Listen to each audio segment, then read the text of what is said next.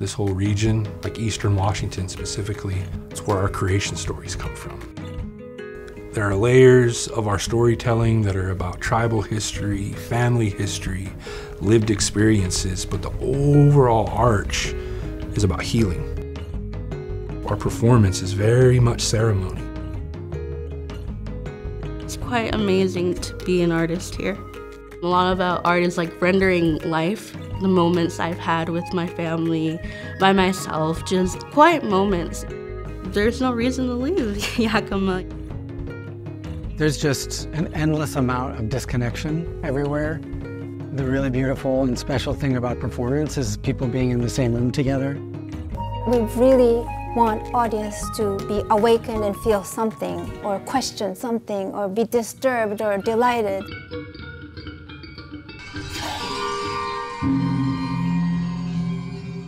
Seattle in the 90s, there was more space and opportunities, I think, to be creative.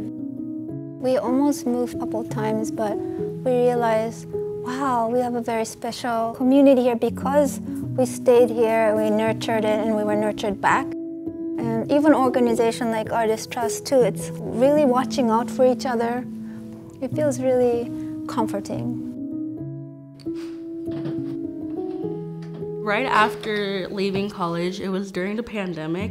I was scouring all the resources online, and one of them was Artist Trust.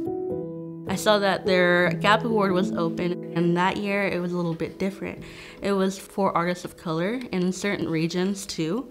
I remember it being like, oh, that's perfect. That's like just for me.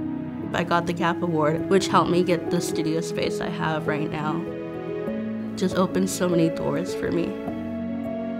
And as each storm passes and the sunlit skies open before our eyes, we're reminded of a beautiful horizon.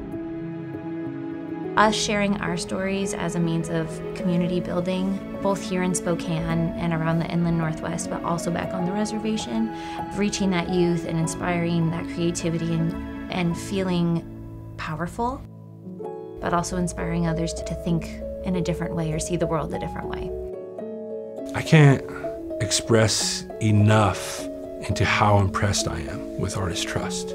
Them coming to us saying, hey, how can we help serve you? And that was the first time we'd ever seen that, you know, and we were blown away like, oh wow, like they see value in what we're building here and want to help us. For so many artists that I know, it was their first grant, and it was the process of applications, the process of you know growing with an organization that open them up to so many other resources. There's a lot of grant opportunities that come once in a lifetime. But when there's a consistent support over time, it can become part of the puzzle, a very challenging puzzle of surviving and thriving as an artist.